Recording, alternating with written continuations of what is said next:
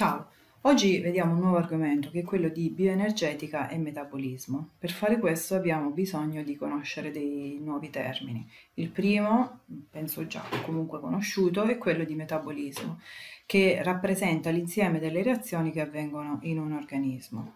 Il secondo termine è quello di via metabolica, eh, che altro non è che una sequenza ordinata di reazioni in cui il prodotto di una reazione rappresenta il substrato di quella successiva. Le vie, le vie metaboliche possono essere vie cataboliche o via anabolica. Via catabolica eh, fondamentalmente porta alla produzione di energia e partendo da macromolecole come i carboidrati, i grassi o le proteine porta a molecole povere di energia e, o molecole di scarto come la CO2, l'H2O e l'NH3 mentre la via anabolica, partendo da precursori, partendo da macromolecole, eh, da monomeri delle macromolecole, come gli aminoacidi, gli zuccheri, gli acidi grassi o le basi azotate, porta, a, ehm, la port- porta alla formazione di proteine, polisaccaridi, lipidi, attraverso l'utilizzo di energia sotto forma di ATP, ADP o altro. Le vie, eh, generalmente le vie eh, cataboliche sono vie convergenti, mentre le vie anaboliche sono vie divergenti. Esistono poi anche delle vie cicliche eh, in cui uno dei composti di partenza viene praticamente rigenerato e rientra poi nella stessa via ehm, e queste appunto vengono definite come vie cicliche. Ricordiamo anche alcuni termini di termodinamica, come quello di entalpia, che altro non è che l'energia di legame, spero lo ricordiate dall'anno scorso, il termine di entropia, eh, la misura del disordine, e il termine di energia libera di Gibbs, che è dato dalla combinazione di entalpia ed entropia attraverso questa reazione, quindi eh, G uguale ad H meno Ts, dove T è la temperatura espressa in Kelvin. Spero ricordiate che eh, un valore di ddg, di delta G minore di 0 indica una reazione esoergonica e quindi una reazione che produce energia, una reazione favorita, eh, mentre un delta G maggiore di 0 indica una reazione endoergonica e che è una reazione sfavorita e che per avvenire ha bisogno di energia eh, all'interno dei sistemi biologici spesso si trovano accoppiate reazioni esoergoniche con reazioni endoergoniche, proprio perché con la reazione endoergonica, eh, o meglio, con la reazione esoergonica abbiamo la produzione di energia, con la reazione endoergonica questa energia prodotta viene utilizzata e quindi anche la reazione endoergonica può avvenire. C'è però bisogno di, mh, mm, ade- di una sorta di accumulatori di energia, in quanto nel momento in cui avvengono le reazioni isoergoniche non necessariamente eh, c'è proprio la richiesta di energia. Per cui questi eh, composti ad alta energia che vedete in questo, in questo disegno in questo schema permettono appunto di accumulare l'energia prodotta durante le reazioni esoergoniche per poi essere utilizzata al momento opportuno dalle reazioni endoergoniche quindi da questa parte vedete la reazione 3 e 4 con un delta G positivo e quindi reazione endoergonica. Qui reazione 1 e 2 delta G negativo reazione esoergonica. Le molecole che sono in grado di funzionare come accumulatori di energia contengono dei gruppi fosfato.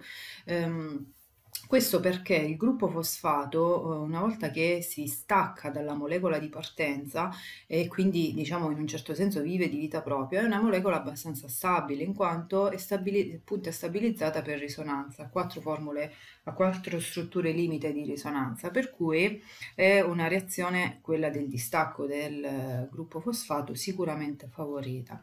E tra queste molecole eh, ricordiamo innanzitutto l'ATP che appunto è la molecola più abbondante e più diffusa in natura, la principale eh, si dice molecola energetica che è presente appunto all'interno delle nostre cellule. Eh, la produzione di ATP può avvenire in due modi. Il primo è la fosforilazione ossidativa che non vedremo in questo video Il secondo modo invece ehm, è attraverso delle reazioni eh, in cui un, un certo composto dà un gruppo fosfato all'ADP come eh, vedete in questa reazione, e produce quindi ATP. Questa è una seconda tipologia di reazione per produrre ATP. Eh, diciamo che una piccola frazione di ATP viene generato in questo modo perché la maggior parte avviene, viene prodotto con la fosforilazione ossidativa, però eh, va studiata in ogni caso.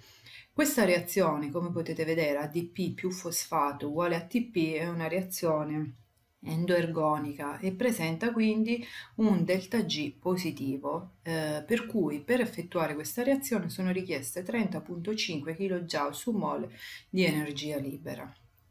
Chi sono questi composti che riescono a donare il gruppo fosfato all'ADP? Sono tre e sono la fosfocreatinina, l'1,3-bisfosfoglicerato e il fosfoenolpiruvato. Eh, questi tre composti presentano questo legame eh, che vedete indicato con la freccia che è un cosiddetto legame ad alta energia per cui eh, la perdita del gruppo fosfato genera ehm, molta energia libera. Come avviene la perdita di questo gruppo fosfato? Attraverso una reazione di idrolisi. Vedete? Da questa parte sono rappresentate le, eh, le, le, è rappresentata l'idrolisi dei tre composti. Quindi attraverso l'aggiunta di una molecola d'acqua il gruppo fosfato che vedete disegnato in rosso si stacca e poi questo gruppo fosfato può essere utilizzato dall'ADP per la produzione di ATP. La cosa importante è che il distacco del gruppo fosfato avviene tramite questa reazione di idrolisi eh, che come potete vedere è una reazione esoergonica molto favorita quindi fortemente esoergonica perché produce un'alta quantità di energia, una quantità che è decisamente sufficiente ed è anzi ancora maggiore rispetto a quella che invece viene richiesta per la sintesi dell'ATP, in quanto per la sintesi dell'ATP servirebbero soltanto 30.5 kJ su mole e queste idrolisi invece ne producono ben oltre. Per cui sono reazioni sicuramente molto favorite. Eh, per questa ragione questi composti, l'1,3-bisfosfoglicerato, il fosfenolpiruvato e la fosfocreatinina, vengono anche definiti come composti uh, ad alta energia. Infatti questo grafico è abbastanza esemplificativo perché fa vedere che il gruppo fosfato viene utilizzato nell'ATP e eh, successivamente poi l'ATP eh, dona il suo gruppo fosfato invece a composti di bassa energia come ad esempio il glucosio 6-fosfato e il glicerolo fosfato, ma questo vedremo, lo vedremo in una seconda fase. E è da notare il fatto che l'1,3-bisfosfoglicerato presenta due gruppi fosfato, però soltanto uno è legato ad un gruppo carbonilico che eh, svolge sul gruppo fosfato comunque un effetto induttivo, per cui è solo questo il fosfato che presenta, ehm, che eh, diciamo che può essere ehm, che attraverso la reazione di idrolisi dona eh, energia, può dare energia, mentre quest'altro, non avendo gruppi carbonilici adiacenti, non presenta stesse, le stesse caratteristiche. Vediamo adesso quindi, dopo la sintesi dell'ATP, attraverso questa modalità, eh, che cosa fa l'ATP. Allora, l'ATP sappiamo che è una molecola che dona energia, può farlo in due modi, o attraverso l'idrolisi o attraverso il trasferimento di un gruppo fosfato. Allora, ehm, l'energia eh, donata dall'ATP attraverso l'idrolisi, eh, diciamo che non è una reazione molto diffusa, cioè in poche reazioni avviene, eh, avviene in quanto eh, l'idrolisi dell'ATP porta sì a un aumento dell'energia, ma sotto, più che altro sotto forma di calore. Um, è comunque una reazione molto favorita per diverse ragioni, alcune delle quali le conosciamo già, in quanto ehm, l'aggiunta di una molecola d'acqua ad una molecola di ATP porta innanzitutto a diminuire notevolmente la carica, eh, la repulsione elettrostatica tra i quattro atomi di ossigeno, appunto caricati negativamente, in quanto eh, il distacco di un gruppo fosfato abbassa la carica da meno 4 a eh, meno 2, che non è poco. Eh, inoltre il gruppo fosfato che viene rilasciato, abbiamo già detto anche prima, viene stabilizzato per risonanza, perché presenta 4 forme limite di risonanza. Eh, inoltre l'ADP eh, che si viene a formare si ionizza immediatamente e libera eh, un H+, e infine eh, un'altra ragione per cui questa reazione di idrolisi è molto favorita è il fatto che il prodotto presenta, il prodotto che si viene a formare ha solvatazione rispetto all'ATP. Quindi queste sono le ragioni per cui l'idrolisi dell'ATP è molto favorita. Vediamo invece anche eh, il trasferimento del gruppo fosfato, quindi l'ATP può donare energia anche attraverso un, trasferi un trasferimento diretto del gruppo fosfato. Un esempio è dato proprio dal passaggio, dalla reazione da glutammato a eh, glutammina. Eh, vista eh, in questa maniera, cioè scritta in questa maniera, la reazione potrebbe sembrare, sembrare a prima vista che ehm, il, il tutto avvenga in un unico step, quindi il passaggio da glutammato a glutammina attraverso l'aggiunta di una uh, molecola di ammoniaca con l'utilizzo di energia mh, di una molecola di ATP sembrerebbe avvenire in un unico step. In realtà non è così perché in generale ehm, sono due i passaggi che avvengono. Il primo è proprio il, il gruppo fosfato che viene trasferito dall'ATP al glutammato come vedete da questa parte e poi successivamente un secondo step, step in cui eh, viene sostituito da eh, NH3 come potete vedere e eh, il gruppo fosfato viene, eh, viene rilasciato quindi in realtà i passaggi per effettuare questo tipo di reazioni sono due e di questa tipologia eh, ne troveremo molte dobbiamo sempre ricordare che avvengono in due step e non in uno solo come si potrebbe pensare inizialmente. Vediamo adesso come avviene quindi il trasferimento del gruppo fosfato. Eh, fondamentalmente si tratta sempre di attacchi nucleofili. Che cosa vuol dire? Mm, guardando questo schema, vedete come eh, questi composti scritti in blu vogliano rappresentare in generale composti che reagiscono con l'ATP. Ad esempio nel nostro caso ehm, il glutammato, nel caso che abbiamo visto poc'anzi. L'ossigeno attacca il primo gruppo fosfato, quindi il fosfato in gamma in questo caso, quindi l'ossigeno del carbossilato va ad attaccare il gruppo fosfato, il fosfato si stacca e si libera ADP. In questo caso quindi abbiamo avuto il eh, trasferimento di un gruppo fosfato più una molecola di, ADP. Di ADP. Eh, possiamo avere anche un'altra casistica in cui eh, la molecola attacca il fosfato in beta. In questo caso abbiamo il rilascio di un gruppo ehm, che viene rappresentato come PP, generalmente lo trovate scritto in questa maniera, così, è un gruppo che viene detto praticamente pirofosforico. Eh, questo nel caso in cui l'attacco avviene sul fosfato in beta. Se invece avviene sul fosfato in alfa, addirittura ehm, abbiamo praticamente il eh, viene trasferi- trasferito completamente un, uh, una molecola di AMP più un PP, quindi un gruppo pirofosforico. E questa reazione viene detta anche adenilazione. Eh, una volta che si viene a formare quindi eh, l'AMP più eh, il pirofosforico, il gruppo pirofosforico praticamente sarebbe eh, fondamentalmente il fosfato beta e il fosfato gamma. Questo fosfato beta e fosfato gamma viene a sua volta idrolizzato in modo tale da avere praticamente due gruppi fosfato praticamente ok? E eh, avere una energia, avere una spinta energetica ancora maggiore rispetto alla semplice reazione di adenilazione. Quindi è come se in un certo senso poi questa reazione andasse avanti e eh, abbiamo l'idrolisi del pirofosfato che porta a due gruppi fosfato e quindi aggiunta ulteriore di energia. Quindi mh, mm, ulteriore appunto energia. Infatti vi ricordo che eh, le eh, energie libere di due reazioni eh, possono essere sommate eh, secondo la, eh, la, legge di S che avevamo visto eh, in termodinamica l'anno scorso i gruppi nucleofili eh, che possono effettuare l'attacco all'ATP possono essere l'ossigeno di un gruppo alcolico, di un gruppo carbossilico, come nel caso del glutammato, o l'azoto della creatinina, dell'arginina, dell'istidina, eccetera.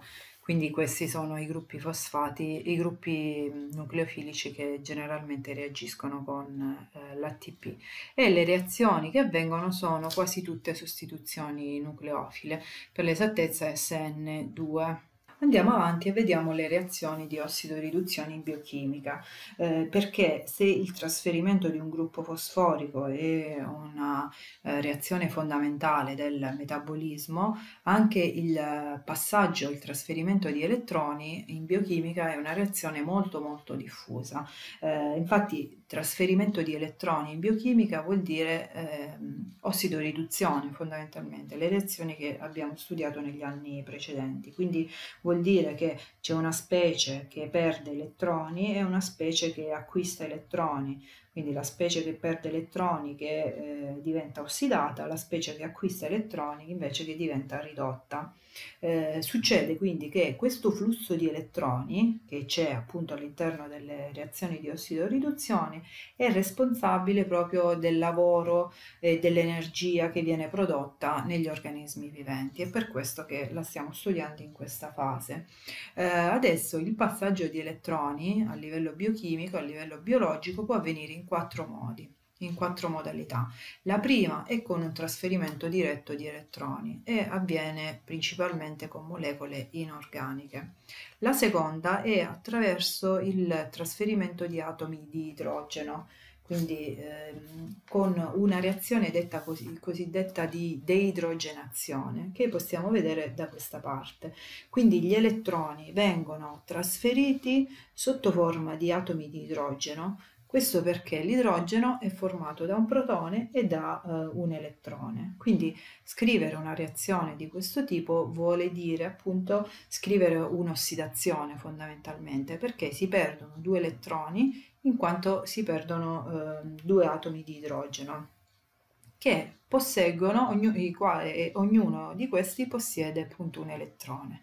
Di conseguenza abbiamo una reazione di ossidazione eh, scritta in questa maniera e è importante non confondere questo tipo di reazione con quella di dissociazione di un atomo, di, una, di un acido eh, che invece eh, coinvolge il protone, quindi l'attenzione in quel caso è focalizzata sul protone e non sull'elettrone come, eh, come in questo caso. Per cui vedete che Bye. Se questa è una reazione di ossidazione, possiamo accoppiarla a un composto B, per esempio, e, effettuare una ossidoriduzione.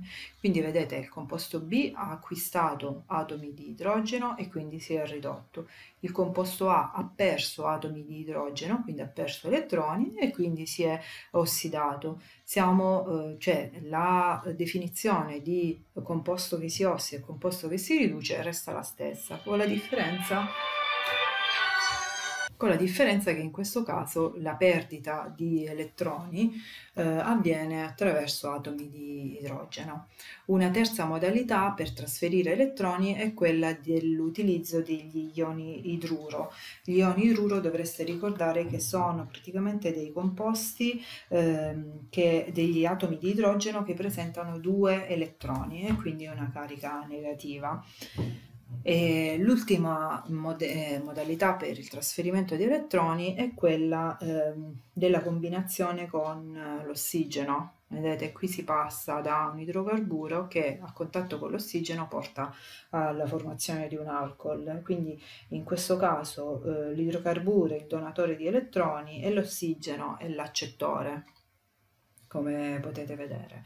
Ehm, in generale, eh, diciamo che tutte queste forme, tutte queste quattro forme di trasferimento di elettroni possono aver luogo, eh, possono avvenire all'interno della cellula e quando da questo momento in poi parleremo di equivalente riducente eh, vorremmo indicare praticamente quando eh, indichiamo quando un elettrone, un singolo elettrone partecipa alla reazione di ossidoriduzione. Gli enzimi che catalizzano le reazioni di ossidoriduzione quindi trasferiscono gli elettroni da un substrato a dei trasportatori eh, universali di elettroni.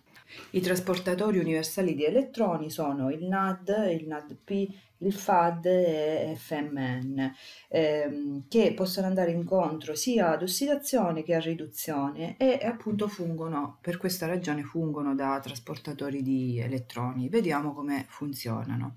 E, e guardiamo il NAD, ma il funzionamento è, è simile per eh, tutti e quattro. Partiamo dal NAD+, quindi dal NAD ossidato. Allora si definisce NAD+, in quanto se vedete da questa parte abbiamo un azoto con una carica positiva, che presenta attorno 4 elettroni, quindi 1, 2, 3 e 4. Uh, eh, con l'aggiunta di due elettroni e due protoni, che adesso vediamo da dove vengono fuori, abbiamo il passaggio da NAD ossidato a NAD ridotto, quindi a NAD H. Che cosa è successo? L'azoto ha perso la sua carica positiva in quanto ha preso un elettrone e infatti se contiamo attorno all'azoto abbiamo 5 elettroni e non più 4 come prima, quindi perde la sua carica positiva e in più ehm, viene a acquisire un protone che è indicato con eh, il colore blu da questa parte. Quindi che cosa rimarrà fuori? Soltanto un altro protone che qui è indicato appunto con H+. Adesso non fate caso che in questa slide è indicato tipo A e tipo B perché indica il tipo di attacco, quindi ehm, se da fronte o da retro. Vedete che da questa parte il protone, il l'idrogeno blu eh, con il cuneo e qui con il tratteggio. Questa è una cosa che però eh, a noi non interessa, quindi ne consideriamo uno solo. Per cui il passaggio da NAD a NADH avviene fondamentalmente con l'acquisizione, con il passaggio di eh, due elettroni e un protone, mentre un protone poi eh, va fuori, cioè esce. E per cui la reazione complessiva che si viene a formare è proprio questa, che vedete qui in basso, e due elettroni e un protone altro non sono che un idruro, come avevamo detto prima, quindi un atomo di idrogeno caricato negativamente che presenta appunto due elettroni e un protone. Per cui questa è la reazione complessiva. Andiamo a vedere adesso da dove vengono fuori questi due elettroni e questi due protoni. Avevamo detto eh, poc'anzi che quando eh, che gli elettroni possono essere trasferiti sotto forma di atomo di idrogeno. Avevamo fatto un esempio di ossidazione, quindi un, un composto AH2, eh, abbiamo visto come si ossidava eh, perdendo quindi due elettroni e due protoni e questo praticamente è il composto che si accoppierebbe con il NAD+. Quindi la reazione generale accoppiata redox che avviene con il NAD più per esempio eh, è proprio quella indicata da questa parte, quindi eh, AH2 che si ossida diventando A.